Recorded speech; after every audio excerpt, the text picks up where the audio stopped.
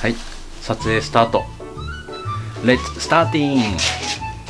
はい皆さんおはようございます。おはようございおます。はようございます。今日は作業2日目ということで先日ですねここのあの後ろの品物をちょっとどかして棚を解体したところで終わったんですけど今回はこの杉板を張るですね。あの下地とあと杉板を張る作業をしていこうと思います。はい。で、あのー今回嫁さんがあの応援してくれるということで応援してもらうんですけどあの杉板にねカンナをかけてもらったり、まあ、カンナって言ってもあの両サイドの面を取ってもらう作業なんですけどもその面を取ってもらったりあと杉板をですねビスをビスをじゃない杉板をあのビスで留めてもらったり手伝いをしてもらおうと思っていますできるのかな？できますはいはい。それでは作業スタート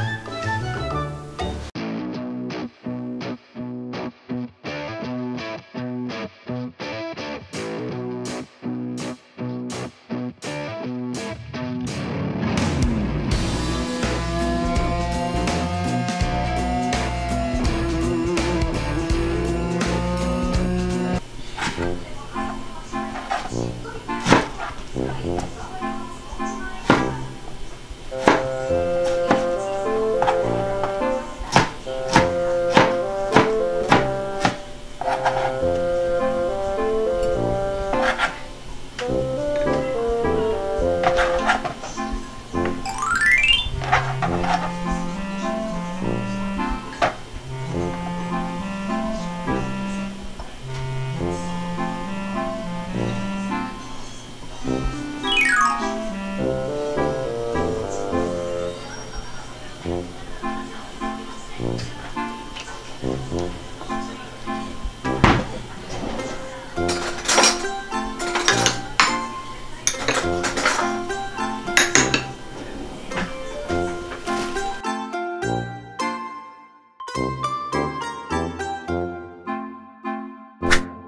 今からですねあの杉板の下地をするわけなんですけど、まあ、ちょっとですねポイントがありましてそれがですね今ここの左端の入り墨なんですけど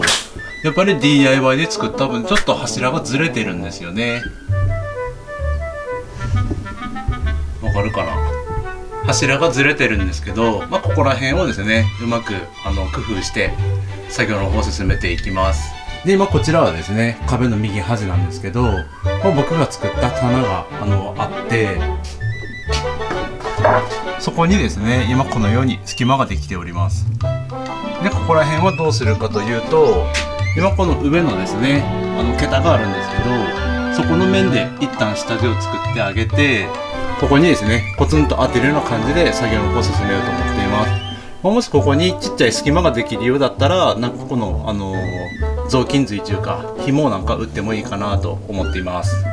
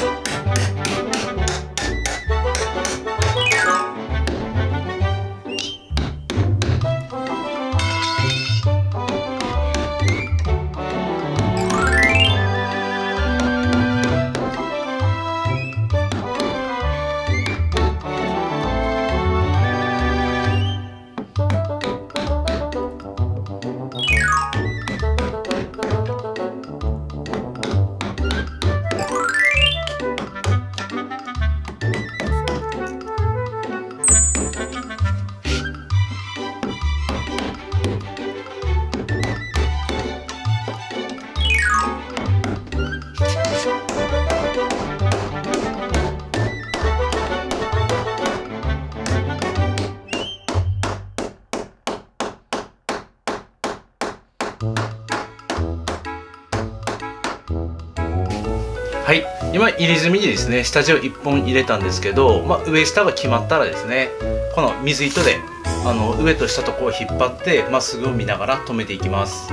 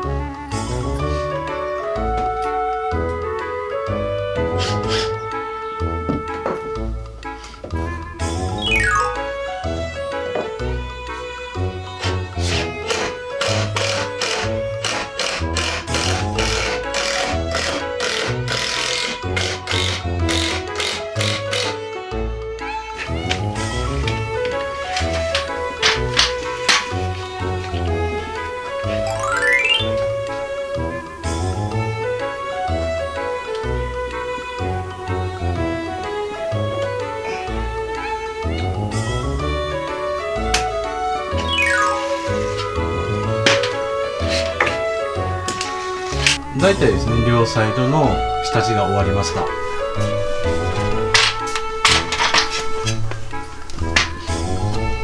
まあ、このまず右の端の方なんですけどここの上にですね3を打ち付けてここのあの面面で揃えております。でまあここの横の棚の後ろがポンだったんですけど後ろにですね一旦下地を作ってあげて今これのですねこのこっちの面のあの受けを作ってあげました。でこんな感じで下まで伸ばしております。左の方はですね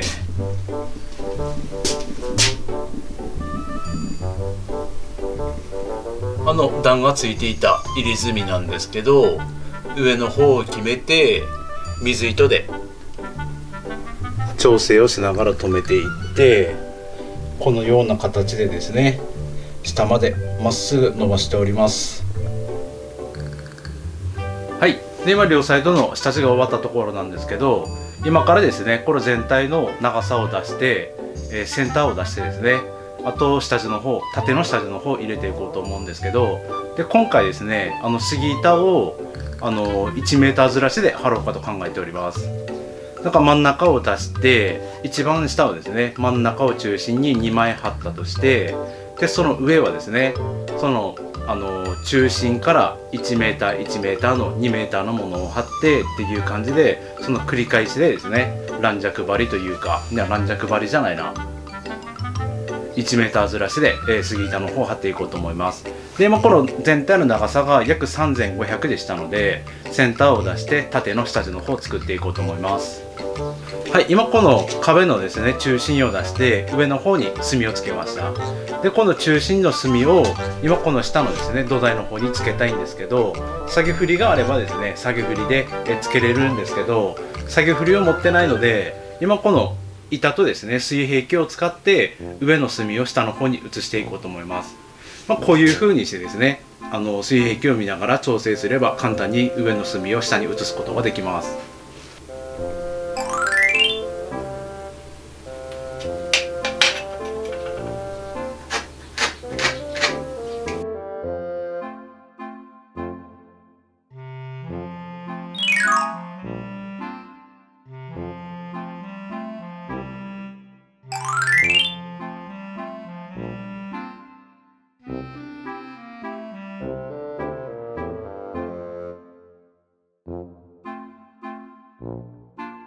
Música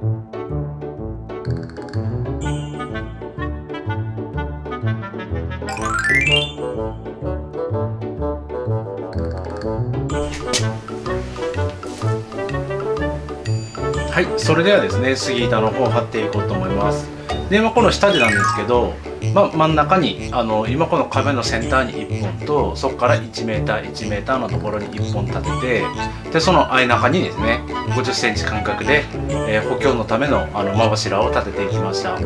で今からまあ杉板を打つわけなんですけど土台のね下刃を合わせてそこからこう張り上げていこうと思います。でまあここの角がですねちょっとなんか入り組んだ形になってるので、まあ、そこをちょっとこうあの杉板の方を嗅いで作っていこうと思います。